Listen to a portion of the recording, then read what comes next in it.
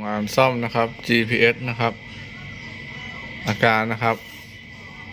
อาจจะแรงไปนะครับ วิ่งนะครับ ตัวขั้วไมโครขาดนะครับ ลายปิ้นขาดนะครับ ขาดหายไปเลยนะครับ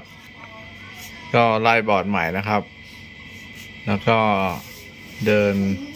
สายอ่อนนะครับ ไปเชื่อมตรงนะครับ แล้วก็ใช้ตัวไมโครสวิตตัวใหม่นะครับ ตอนนี้ใช้งานได้แล้วนะครับ ปกติชาร์จเข้าปกตินะครับโอเคเรียบร้อยนะครับ